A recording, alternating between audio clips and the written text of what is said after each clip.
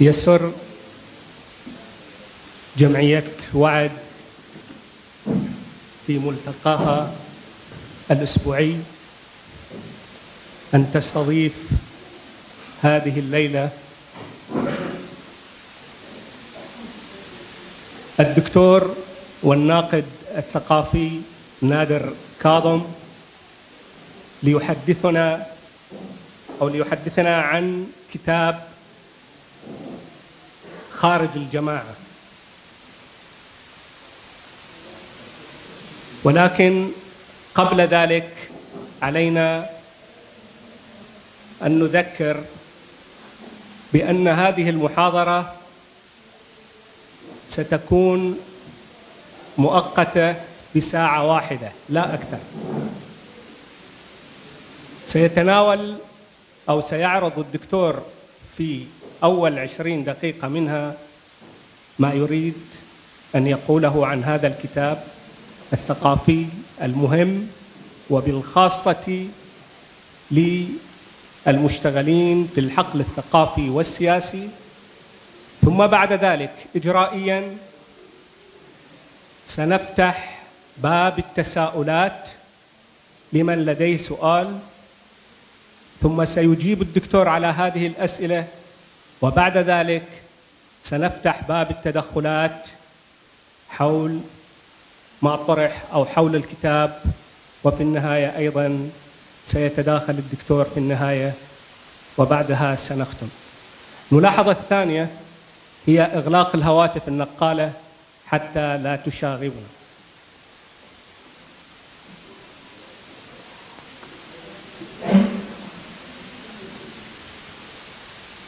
الدكتور نادر كاظم أكاديمي وكاتب وناقد ثقافي حاصل مرتين على جائزة الكتاب البحريني المتميز لعامي 2003 و2004 هو أستاذ الدراسات الثقافية بقسم العلوم الاجتماعية بكلية الآداب جامعة البحرين. وقد أدار تحرير مجلة العلوم الإنسانية بجامعة البحرين في الفترة 2005 إلى 2014 كما أدار تحرير مجلة ثقافات في الفترة وتصدر عن جامعة البحرين في الفترة 2007 إلى 2014 أيضا. وأدار تحرير مجلة أوان وهي مجلة ثقافية تعنى بمراجعات الكتب وأيضا تصدر عن كلية الآداب بجامعة البحرين في العامين 2003 و2005 هو عضو هيئة التحرير في مجلة البحرين الثقافية في الفترة 2008 ل 2014 عضو لجنة التحكيم في جائزة البحرين للكتاب المتميز في مجال الدراسات الاجتماعية والإنسانية لعام 2006 وعضو لجنة التحكيم لجائزة القصة بوزارة الثقافة بجمهورية مصر العربية لعام 2009 وعضو لجنة تحكيم جائزة محمد زفزاف للرواية العربية بالمغرب 2016 وأيضا عضو أسرة الأدباء والكتاب في البحرين عضو لجنة الدراسات والبحوث في أسرة الأدباء والكتاب 2016 حاصل مرتين على المركز الأول في جائزة الكتاب البحريني المتميز الأول في مجال النقد عن كتابه المقامات والتلقي والثانية في مجال الدراسات الإنسانية والاجتماعية عن كتاب لعام 2004 عن كتابه تمثيلات الآخر. طبعا له العديد من المشاركات في المؤتمرات والندوات والمحاضرات داخل البحرين وخارجه طبعا ما صدر له المقامات والتلقي بحث في أنماط التلقي لمقامات الهمداني في النقد العربي الحديث 2003 تمثيلات الآخر صور السود في المتخيل العربي الوسيط 2004 الهوية والسرد دراسات في النظرية والنقد الثقافي 2006 طبائع الاستملاك قراءة في أمراض الحالة البحرينية 2007 استعمالات الذاكرة في مجتمع تعددي مبتلى بالتاريخ 2008-2014 خارج الجماعة عن الفرد والدولة والتعددية الثقافية 2009-2016 وله طبعتان هذه الطبعة الثانية.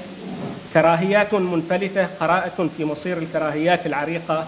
2010 إنقاذ الأمل الطريق الطويل إلى الربيع العربي 2013 وله أيضا مؤلفات مشتركة مع إدوارد سعيد داخل المكان.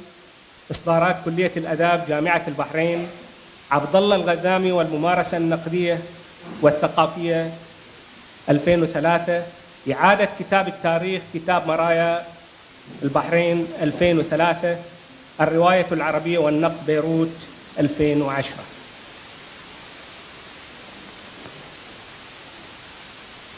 طبعا خارج الكتاب الذي سيتم تناوله هذه الليلة يشتغل في النقد الثقافي وهو بعنوان خارج الجماعة عن الفرد والدولة والتعدد والتعددية الثقافية. وهذا الكتاب بعد المقدمة يناقش في ستة فصول بشكل جميل وشكل وأيضا بمحايدة علمية ثقافية مجموعة من المفاهيم المتعددة التي دائما ما يناقشها المثقفون والمثقفون السياسيون والأدباء ومن يشتغل في علم الاجتماع وفي مجال الثقافة. مثل التعددية الثقافية الليبرالية الفردانية الحرية المساواة الاعتراف التطابق والتشابه الأصالة والهوية وتوحشها. طبعا هذه عناوين قد نختلف ونتفق ولكن نترك الوقت للدكتور الناقد نادر كاظم ليستعرض ذلك.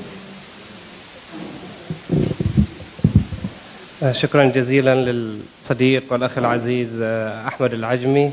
الشكر موصول لجمعية وعد على الاستضافة الكريمة. شكر للحضور الحقيقة اللي تشرف بوجودكم كان يفترض الحقيقة أن أكون موجود بينكم فقط لأستمع ولا أستفيد وليدور النقاش بيني وبينكم حول الأفكار المطروحة في الكتاب. آه، بحكم أن ما لدي من أفكار الحقيقة طرحت في الكتاب وما أظن لدي جديد سوى التدييل أو التعقيب أو بعض الإضافات الطفيفة اللي ممكن تكون هي مفتتح لإثارة النقاش حول القضايا اللي يتضمنها الكتاب. يعني الكتاب يفترض موجود آه، ووزع بشكل جيد في الفترة الأخيرة في البحرين. ولا أجد من المناسب الحقيقة لاستعراض كامل أفكار الكتاب لأن هو هو موجود بين أيديكم وممكن آه، نستغل الموضوع أكثر لإثارة النقاش حول القضايا اللي تضمنها الكتاب. ولكن كمفتتح لإثارة شهيتكم للنقاش أنا سأستعرض بعض آه، القضايا اللي يدور حولها الكتاب آه، في نزعة الحقيقة آه، متصاعدة في القرن العشرين وتحديدا من منتصف القرن العشرين وصاعدا وبدأت تتصاعد بشكل واضح من تسعينات القرن العشرين إلى اليوم وهي نزعة تصنيف العالم على أنه كيانات وجماعات وطوائف وملل ونحل. هذه النزعة تفترض الحقيقة أن البشر مصنفين سلفا ضمن جماعات وهذه الجماعات لها شكل طبيعي بمعنى الجماعات موجودة وقائمة كمعطى. والحاصل أن الجماعات الحقيقة ليست قائمة كمعطى الجماعات شكل من أشكال التصنيف وبالتالي فيها فيها جزء كبير من الاختراع. بمعنى أن في أفراد أو قوى في لحظة من اللحظات آه، بدأوا في عملية التصنيف أو إعادة رسم حدود إلى إلى إلى إلى مجموعة بشر. هذه الحدود هي حدود الجماعات. وبالتالي إذا فكرنا في في الجماعات على أنها مسألة ترسيم حدود فترسيم الحدود هذا ليس له وجود معطى بشكل جوهري ثابت لا يتغير. من رسم الحدود رسمها في لحظة تاريخية محددة. وبالتالي مسألة الجماعات آه، مسألة وجدت في لحظة من لحظات التاريخ. يعني في علم الاجتماع على الأقل ممكن أحد الإسهامات الحديثة الحقيقة المعاصرة في ذا الموضوع إسهام إلى عالم اجتماع امريكي اسمه روجر بروبيكر روجر بروبيكر يطرح فكرة آه إن في في نزعة هو يسميها ال groupism. نزعة لاضفاء صفة الجماعة على أي كيان بشري قائم. بمعنى إن ليس بالإمكان رؤية البشر بشكل جيد وواضح إلا إذا صنفناهم في شكل جماعات. جماعات على أسس دينية على أسس إثنية على أسس طائفية على أسس طبقية على أسس جغرافية مناطقية أو على أسس الجنس أو النوع أو الجندر. أو على أساس العمر. بالتالي التصنيف هو شكل من أشكال تسهيل الرؤية أو الرؤية من دون التصنيف بتكون الحدود مائعة بين بين الكيانات. افتراض وجود جماعات معناته افتراض وجود حدود. هذه الحدود اللي تطرح الفكرة اللي يطرحها الكتاب إن هذه الحدود ليست حدود ثابتة بشكل لا يقبل التغيير. هي حدود رسمت في لحظة من لحظات التاريخ. وبالتالي أنا بفكر في في الجماعات ك كحدث تاريخي حصل يترتب عليه ترسيم حدود أو إعادة ترسيم حدود. لم تكن الجماعات هكذا من قبل. ليس معنى هذا أن المسلم ما كان يعرف نفسه على أنه مسلم أو أن الكردي ما كان يعرف نفسه على أنه كردي. أو التصنيفات المذهبية أو أي أي شكل من أشكال التصنيف. ماذا يفترض هذا الفكرة النزعة الأولى لافتراض وجود جماعات ككيانات قائمة؟ يفترض اولا أن في في جماعات منسجمة. بمعنى في جماعة هي منسجمة كل أفرادها ينسجمون وبينها وحدة وتماسك. فالافتراض الأول في فكرة الجماعة أن في تماسك داخل الجماعة في وحدة قائمة بين أفراد الجماعة وهؤلاء يعون بوحدتهم. وفي معالم واضحة خارجيا يعني في حدود مرسومة خارجيا وبالإمكان رؤيتها على شكل لغات مختلفة أو ألوان مختلفة أو توزيع جغرافي للمناطق مختلف. فهي واضحة المعالم خارجيا.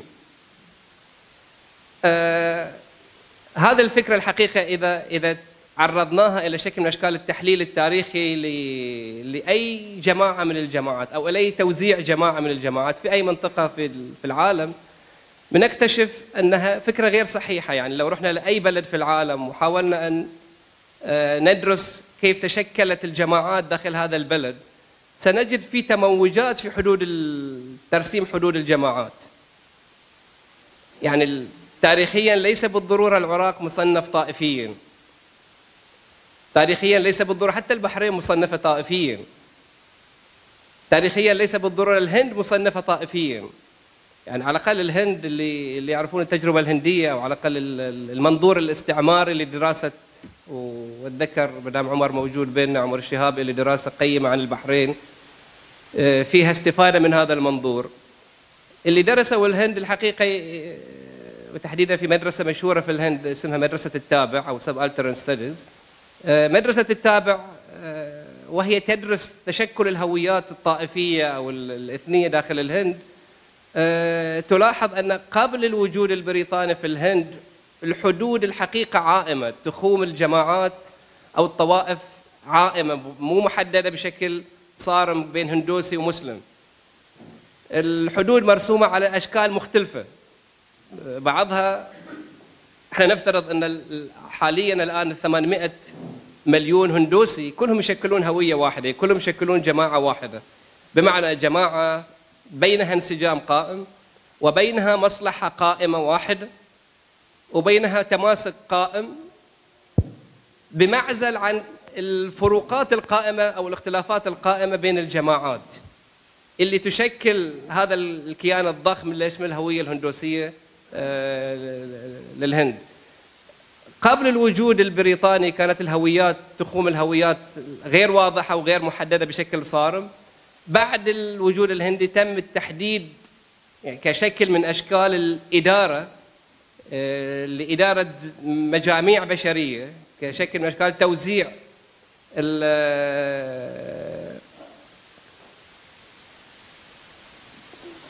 خيرات الدولة في في المناصب في في المكافآت في الحقوق في حصص إدارة الولايات فكان الشكل ال- اللي استب... يعني استحدثته الإدارة البريطانية لإدارة هذه ال- المجاميع البشرية في الهند هو تصنيفها على أساس طائفي كمسلمين وكهندوس وكسيخ وكمسيح وإلى اخره إلى آخره. فالفكرة الأساسية إن ليس للجماعة وجود معطى بشكل قائم وثابت ولا يتغير. الجماعة هي اختراع لأفراد أو لقوى في لحظة من لحظات التاريخ ليخدم أغراض محددة وهذا الاختراع يتم تعميمه بمعنى يتم تحسيس البشر بأنكم تنتمون إلى الجماعة الفلانية. يتم تحسيس البشر بأنكم تنتمون للجماعة الفلانية وليس للجماعة العلانية. كيف تتم ذي العملية؟ الحقيقة العملية تتم بشكل من أشكال أنا أسميه الاختزال أو تقليص التنوع أو اختزال تنوعنا كبشر كأفراد حتى اختزال تنوعنا في انتماء واحد وأحادي بمعنى هو هذا أنت تختصر بكاملك على أنك عضو في الجماعة الفلانية. أنت تختصر بكاملك على أنك هندوسي أو مسلم أو كردي أو تركي أو فارسي أو سني أو شيعي أو أباضي أو زيدي. آه، بمعزل عن كل التكوينات الأخرى عن كل مكونات الهوية الشخصية الأخرى. هل معنى هذا أن ليس هناك وجود حقيقي إلى إلى أديان ولا طوائف ولا قبائل ولا كيانات جغرافية حتى ينتمي لها البشر؟ لا. كل هذا موجود ولكن السؤال اللي يطرح إنه لماذا يتم كامل الانتماءات الأخرى إقصائها بأكملها ويتم انتخاب انتماء واحد فقط ويعتبر هذا هو انتمائك ال- ال- ال- الأحادي والمصيري إيه، لا تبديل له ولا تغيير. يعني إذا المسألة مسألة تشابهات بين البشر إذا المسألة مسألة تشابهات بين البشر ففعليا البشر كلهم يتشابهون على أكثر من مستوى. فعليا البشر يتشابهون على أكثر من مستوى. والبشر لا يشكلون هوياتهم في الحقيقة على أساس التشابه. لأن إحنا فعليا نتشابه. أنا اللي أختلف معاه في الدين أتفق معاه في القومية. اللي أختلف معاه في القومية قد ألتقي معاه في الوطن، اللي أختلف معاه في الوطن قد أتفق معاه طبقيا. وهكذا بمعنى أو بآخر إن إذا مسألة مسألة تبديلات بين محور ومحور إحنا فعليا ممكن أن نلتقي مع أي كائن بشري على وجه الكرة الأرضية في أي محور من المحاور في أي مستوى من المستويات. أبرز مثال ممكن يطرح على آه، للتدليل أو لتوضيح ذي الفكرة. آه، طبعا كلكم تعرفوا فكرة ال- الصراع اللي جرى في في راوندا بين بين القبيلتين الهوتو والتوتسي. إذا مساله تشابهات فبين الهوتو والتوتسي تشابهات تقريبا لا حد لها. هذول الاثنين هم نفس اللون كقبيلتين. هم ينتمون إلى نفس اللون ولا نفس السلالة ك ك كإثنية يعني أو ك اللي هي السلالة الزنجية أقصد ليس بالمعنى الإثني الثقافي. هم ينتمون لنفس القارة الأفريقية وينتمون لنفس البلد اللي اسمه راوندا ولنفس الدين اللي اسمه المسيحية ولنفس المذهب اللي اسمه الكاثوليكية. وكثير منهم يعيشون في نفس المدينة اللي هي العاصمة في كيغالي. ومتصاهرين فيما بينهم يعني في زوج من الهوتو وزوجته من التوتسي. فمن حيث التشابهات بين القبيلتين تشابهات أكبر من الاختلاف الحاصل فيما بينهم. إنهم ينتمون لقبيلتين مختلفتين تاريخيا بحكم الوجود الاستعمار البلجيكي في المنطقة جرى توزيع الحصص داخل ال- الدولة لصالح ال- الأقلية الصغيرة اللي هم التوتسي على حساب الأغلبية اللي هم الهوتو فبدأت الأمور تتراكم بس فعليا اللي حدد الصراع أو الزعامات اللي. اللي أطلقت شرارة الصراع أطلق شراره شرارة الصراع على أساس الاختلاف القبلي بين الهوتو والتوتسي. بمعزل وما كانوا شايفين يعني حتى العملية تتم ينبغي أن يتم اختزال هويات الروانديين بأكملهم في هذا الانتماء فقط. بمعنى ينبغي على الهوتو أن لا يتذكر أن ذا التوتسي اللي راح يقتله ينتمي مع لنفس المنطقة ولا نفس المذهب ولا نفس الدين ولا نفس البلد ولا نفس العرق. آه، ينبغي إقصاء ونسيان كل هذه الانتماءات والتذكير فقط بانتماء واحد هو الانتماء القبلي آه، للهوتو أو التوتسي. لنفترض أن واحد من هذول الهوتو اللي كانت هويته تتحدد بكونه هوتو انتقل في القرن الثمانية عشر أو في القرن التسعة عشر قبل ستينات القرن التسعة قبل ستينات القرن العشرين إلى الولايات المتحدة الأمريكية.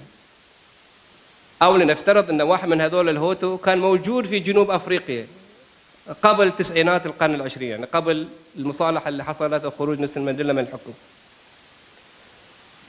كيف سيرى هذا التوتسي أو الهوتو هويته داخل جنوب أفريقيا إبان التمييز العنصري القائم في جنوب أفريقيا؟ أو كيف راح يشوف هويته إبان التمييز العنصري تجاه السود في أمريكا آه، في القرن ال 18 وال 19 أو مطلع القرن العشرين؟ بتغير السياقات سيجد هذا الهوتو أو التوتسي آه، شيئا فشيئا ينظر إلى نفسه كأسود. الآخرين يصنفون ك- كأسود. ال system بأكمله النظام بأكمله الجماعات جماعته هو والجم- والجماعات الأخرى كلها تصنف على أنها أسود. بمعنى اللون هو من له معنى في في هذا السياق وليس كونك هوتو أو توتسي له معنى في هذا السياق. أنا أفترض أن هذا الهوتو والتوتسي لو أخذناه في لحظة من لحظات الصراع في إيرلندا الشمالية على سبيل المثال بين الكاثوليك والبروتستانت وهو أسود من الهوتو وكاثوليكي. شيئا فشيئا سيجد نفسه أنه ينظر إلى نفسه والآخرين يصنفونه على أنه كاثوليك بمعزل عن لون سواد بمعزل عن القبيلة التي ينتمي لها. وهذا الذي يحصل الحقيقة انتماءاتنا تتغير بتغير السياقات بمعنى بتغير البنى اللي تكتسب فيها حدود الجماعات معناها. يعني ليس للحدود الجماعة هويات عذرا ليس للجماعة لحدود الجماعات وجود مجرد. يعني إيه، الهوتو هوتو وين ما راح السني سني وين ما راح الزيدي زيدي وين ما راح وال هذه الحدود الحقيقة تتغير بتغير السياقات آه، التاريخية والجغرافية. يعني تغير السياقات بتتغير كيف ينظر البشر لأنفسهم. يعني النقد الأساس الحقيقة اللي يوجهه الكتاب ل- لفكرة الجماعة هي فكرة هي مسألة اختزال وجود البشر اللي بعتبره أنا الحقيقة وجود غني. بمعنى لو ترك الأمر لنا كأفراد لنحدد من نحن وماذا نريد أن نكون فالخيارات لا لا أقول مفتوحة بمعنى في في في في بنى في الخارج في قوى في الخارج في مؤسسات في الخارج أو في كيان تصنيف قائم في الخارج آه، هو يعمل سلفا أو مسبقا على تصنيفي أو على على حبسي داخل صندوق اسم الانتماء إلى الجماعة الفلانية. بس هذا ما معناه أن حريتي أنا في تحديد من أنا وماذا أريد أن أكون. حرية معدومة. الحقيقة الحر آه، مسألة تحديد هوياتنا أنا بتصور مسألة تنازع قائم وصراع وأحيانا تفاوض بين ما نريد أن نكون عليه نحن كأفراد وبين بنى أو أشكال أو مؤسسات أو حتى الجماعات والأفراد الآخرين اللي يصنفوننا في الخارج. يعني في أمثلة كثيرة في في الكتاب آه، وفي بعض الأمثلة حتى من البحرين يعني أنا ممكن آخذ هذا المثال لأنه مثال جيد ويخدم في آه، في في, ذا السياق. آه، في أحد ال- الكتاب البحرينيين الكتاب الليبراليين البحرينيين الكتاب العلمانيين البحرينيين بمعنى الكتاب اللي من الستينات والسبعينات هو متجاوز الانتماء الطائفي سني شيعي في البحرين. وفعليا إحنا ما, ما لا ننظر له لا أنه سني ولا أنه شيعي ننظر إلى كاتب آه، علماني أو ليبرالي أو حداثي ايا كانت التصنيفات. وهو ينظر إلى نفسه على ذا الأساس. وهو ينظر إلى نفسه على ذا الأساس. هو في الأصل من أسرة شيعية منامية. فهو صدر كتاب في فترة من الفترات عن الإسلام السياسي في ال- في الخليج. فمار المكتبة الوطنية وقتها أو واحدة من المكتبات في البحرين فشاف صاحب المكتبة فظل يدردش معاه. هو أعجب بأن صاحب المكتبة معجب بكتابه وظل سهران عليه يقرأ طوال الليل حتى ينجزه لسبب واحد بس لغرض واحد فقط. هو أنه يريد يعرف هذا الكاتب الشيعي ماذا قال عن حركات الإسلام السياسي السنية. فهو أصيب بالصدمة يعني يعني أنت الآن سلفا تصنفني على أنني أنتمي للجماعة الأصل الجماعة الأصلية. بمعزل عن قراراتي أنا كفرد وما اخترت أنا لنفسي كفرد. أريد أقول في نفس في نفس السياق أن المسألة مسألة تنازع الحقيقة بين ما نريد نحن أن نكون أو ما نريد أن نرى أنفسنا فيه وبين آه، سميها قوى تصنيف في الخارج مؤسسة أحيانا يعني الدولة تصنفك. ليس فقط جماعتك آه، تمارس عليك شكل من أشكال الحبس الحبس والعزل عن الجماعات الأخرى أن أنت ابن الجماعة كما لو كما لو كنت أنت واحد من ممتلكات آه، الجماعة. وليس فقط الجماعات الأخرى تصنفك يعني الجماعات الأخرى بتنظر إليك على أن أنت رحت والله نجيت. أنت ابن الجماعة الأصل اللي ولدت فيها. وبيتم النظر إليك داخل بنى أو قوة تصنيف في الخارج على ذا الأساس. أنا بقول هذا موجود وإرادتنا أيضا موجودة في تحديد ماذا نريد أن نكون. أنا آه، هو هذا أنا بتصور هو دي الفكرة الأساسية المطروحة في الكتاب. أه واحدة أيضا من الأفكار المطروحة في الكتاب لها صلة بفكرة أه إن ما الحل في مسألة اختزال هويات البشر المتنوعة أو وجود البشر الغني والثري والمتنوع؟ أه يعني أنا أنا عندي حرية تقريبا على الأقل بهامش واسع لاحدد من أكون أنا بحريني ومسلم وعربي و آه، وأكاديمي ومثقف وابن قرية معينة أو مدينة معينة وابن طبقة معينة ورجل ولست أنثى وإلى آخره. في النهاية أنا بشر. يعني هاي كلها مستويات أنا في لحظة من اللحظات قد أجد نفسي فيها وقد أجد أن هذه في الحقيقة هي محور هويتي. هذه محور هويتي. قد أفاجئ أن الآخرين يختزلون كل هذا التنوع اللي أنا شايف نفسي فيه في انتماء واحد أن أنت ابن الجماعة الفلانية ابن الجماعة العلانية إلى آخره. هذا موجود وذاك موجود. ما الحل في ذا الموضوع؟ يعني في بمعنى كيف بالإمكان مقاومة هذا الشكل من أشكال الاختزال أو التقليص لوجودنا كبشر في انتماء واحد؟ اللي قرأوا الحقيقة أمين معلوف في الهويات القاتلة واللي قرأوا مارات يسان في الهوية والعنف. آه، وآخرين هي فكرة الحقيقة شائعة بين الكتاب منذ أن كتب آه، أمين معلوف هذا الفكرة. إن الحل هو بتذكير البشر بانتماءاتهم المتنوعة. إن الحل أن يتذكر السني والشيعة إنهم قبل أن يكونوا سنة أو بعد أن يكونوا سنة وشيعة هم بحرينيين وهم مسلمين وهم عرب وهم خليجيين وهم آه، إلى اخره إلى اخره، وبالتالي الحل لمقاومة هذا الشكل من أشكال الاختزال هو تذكير البشر بانتماءاتهم المتنوعة. بمعنى الانتماء الأول اللي سيجمعك مع الجماعة ألف الانتماء الثاني سيجمعك مع الجماعة باء الانتماء الثالث سيجمع مع الجماعة جيم والجماعة وهكذا بهذه الطريقة. آه، فعليا ستجد أن أنت متشعب من حيث الانتماء إلى جماعات متعددة. فبأي معنى يتم اختزال وجودي كله أن أنا فقط الجماعة الألف أو الجماعة باء أنا بطرح فكرة في الكتاب آه، ليس ضد هذا النوع من أو هذه الفكرة اللي يطرحها من معلوف أو أمار آه، وإنما بطرح فكرة أن فكرة الجماعة في الأصل أو فكرة الهوية في الأصل آه، تتضمن أنا بسميه وحش الهوية بمعنى شكل من أشكال إنتاج الشرور. في في شر في في طابع شراني موجود في أي هوية. والسبب يرجع على أن الهوية بشكل أو بآخر فيها شكل من اختزال الأفراد في كيانات مجردة أكبر منهم. بمعنى أن ليس ليس المهم الفرد المهم الكيان الأكبر من الفرد اللي هو اسم الجماعة. فهو من حيث المبدأ فكره الهوية أو فكرة الجماعة بتعطي بتعطي شكل من أشكال التقدير للجماعة نفسها. بمعنى الجماعة لها شكل من أشكال التقدير وبالإمكان تحويل الأفراد اللي هم البشر الحقيقيين من لحم ودم بالإمكان تحويلهم إلى رقم من بين أرقام هذا اللي تكون هذه الهوية أو الجماعة أو إلى ترس في دي الماكينة الضخمة اللي اسمها الهوية أو الجماعة. بمعنى تقليص وجودهم وقيمتهم كأفراد. القيمة الحقيقية لذا الكيان الجماعة الضخم اللي اسمه الجماعة.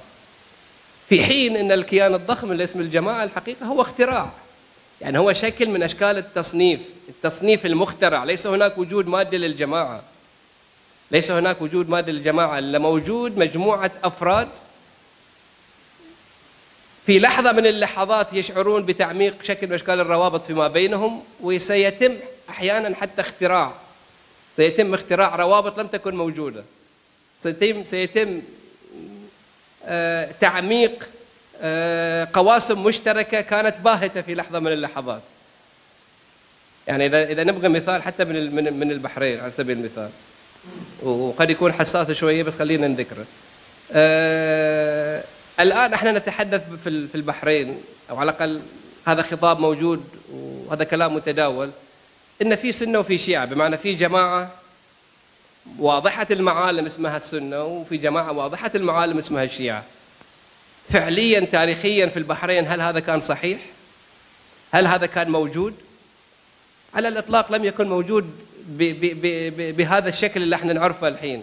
وممكن حتى إلى اليوم غير موجود. يعني ما زال إلى اليوم هو سعي وهو رغبات وهو مطالب أفراد أو قوى لأغراض محددة يعني يعني لها جانب بتسييس الجماعات أو بتسييس الانتماء للجماعات. آه تاريخيا على سبيل المثال الشيعة لم يكونوا شيعة ضد السنة أو في قبال السنة يعني الآخر للشيعة لم يكن السني في البحرين. الآخر بالنسبة للشيعة الأخباري هو الشيعة الأصولي. الآخر الاصولي هو الشيعه الأخباري. وأحيانا بين قريتين متجاورتين الآخر لا هو هذا ولا هو هذا. الآخر هو ابن القرية الفلانية ابن القرية العلانية. بمعنى القرية الفلانية سترسم حدود انتمائها بناء على أنها ليست ذاك الآخر. وهذا هذا القائم فعلا. القائم أننا نشكل هوياتنا ليس بشكل إيجابي على ما بيننا من قواسم مشتركة وإنما بشكل سلبي. بمعنى ما ليس موجود عند الآخر هو مناسب لأن يكون مقوم أساسي لترسيم هذه الحدود. وبالتالي ينبغي تحديد يعني اللي يحدد هويتنا الحقيقة هو الآخر هذا. على في علم الاجتماع نسميه إحنا الآخر المهم بمعنى الآخر اللي بناء عليه تتحدد حدود الهوية ألف. لو تغير هذا الآخر يعني كمثال افتراضي لو في بلد من البلدان يعيش فيه بشر عرب وأكراد وتركمان وفرس. أو خلينا نخليها أوضح آه، في في عرب وعلى سبيل المثال العراق في أتراك وفي كرد وفي عرب. قد نفترض ابتداء على أن الجماعات راح يشكلون هوياتهم على أساس القومية باعتبار أن الآخر المتجاور معاهم أو اللي جوارهم هو آخر قومي إما كردي أو تركي. إذا افترضنا في عزلة للأكراد في جبال وسلسلة جبال تحيط بالقبائل الكردية تعزلها عن الآخر العربي وعن الآخر التركي. وليس هناك اتصال مباشر بين الأكراد وبين العرب وبين الأتراك. كيف سيشكل الأكراد حدود هوياتهم؟ ستتشكل حدود هوية الأكراد على الآخر الداخلي يعني الكردي اللي في الشمال والكردي اللي في الجنوب. الكردي ابن المدينة والكردي ابن الكردي القروي الكردي المر إيش وهكذا. فتحديد الهوية الحقيقة النقطة الأساسية نقطة الانطلاق في تحديد هويات البشر هي في تحديد هذا الآخر اللي بناء عليه تترسم الحدود. لو افترضنا أن الأكراد الأكراد على سبيل المثال المسلمين في أكراد مسلمين وفي أكراد مسيحيين. في اكراد مسلمين وفي اكراد مسيحيين. بتتشكل هوية الاكراد على أساس الدين كمسلمين وكمسيحيين. إذا جت كارثة وأبادت كل الأكراد المسلمين أو المسيحيين وبقي فقط الأكراد المس- المسلمين لحالهم. في المحيط الجغرافي اللي هم فيه. سيتم عملية أحيانا شاقة وتتخذ مدى في الزمن لإعادة ترسيم حدود هذه الهويات. إن بيبدأ الأكراد المسلمين يعيدوا فرز أنفسهم على أساس مختلف كأكراد مسلمين في الشمال في قبال أكراد مسلمين في الجنوب. آه وبالتالي أنا اللي بطرحها في الكتاب في إن فكرة الهوية بحد ذاتها تنطوي على شكل من أشكال إنتاج الشرور بمعنى ليس يعني ليس بالإمكان تخيل الجماعات أو الهويات إلا بالحدود. إن في في حدود ترسم من هم داخل الدائرة عن من هم خارج الدائرة. بين نحن وهم. وبالتالي فكرة الحد فكرة الحدود هي اللي بتخلق المسافة بيني وبين الآخر. حتى لو كانت مسافة افتراضية أو مسافة متخيلة. بس هذا المسافة الحقيقة هي اللي تجعل البشر يتعاملون مع أبناء جماعتهم بحميمية أحيانا مبالغ فيها. وتجعلهم يتعاملون مع أبناء الجماعات الأخرى ببرود وحتى انعدام إحساس. يعني في تشبيه إلى أحد أحد الفلاسفة النرويجيين بيشبه الهوية على أنها ثلاجة معكوسة. بمعنى الثلاجة حتى تنتج هواء بارد في الداخل عليها أن تنتج هواء حار في الخارج. الهوية بتنتج حميمية وحرارة في العلاقات بين البشر داخل أفراد الجماعة بس نتيجة ذلك بتكون تعامل بارد وأحيانا حتى متخشب ومنعدم مع الآخرين هذا انعدام الإحساس أو البرودة في الإحساس مع الآخرين هو اللي بيولد كل المشاكل اللي لها صلة بممارسة تمييز على آخرين أو بممارسة حتى قتل على آخرين أو إبادة على آخرين وبدم بارد. المسافة بتعطيك آه، شكل من أشكال آه، راحة الضمير على أن ما ترتكبه الحقيقة لا ليس أمر آه، بشع وخطير. ليس أمر بشع وخطير. آه، هو هو أمر إذا استعرنا مثال أو مصطلح آه، إلى حنا أرنت هو هو شر تافه. هو شكل من الشر ليس له أبعاد فظيعة وخطيرة. وبالتالي أنت تقتل بشر مثل ما تقتل ذبابة أو مثل ما تقتل أي حشرة. تقتل أي حشرة بانعدام ضمير وبالتالي تستطيع أن تقتل أي بشر بانعدام ضمير. لأن هذه المسافة الحقيقة تعطيك إحساس بال آه، أن ما تعمل الحقيقة هذا شيء لا يترتب عليه آه، أي تمزق أي تمزق في المشاعر الداخلية لك كفرد. آه، أنا أكتفي بهذا لأن أبو فرات يلاحقني بدقيقتين أظن أخذت منهم ثلاث أشكر لكم حسن استماعكم وشكرا جزيلا.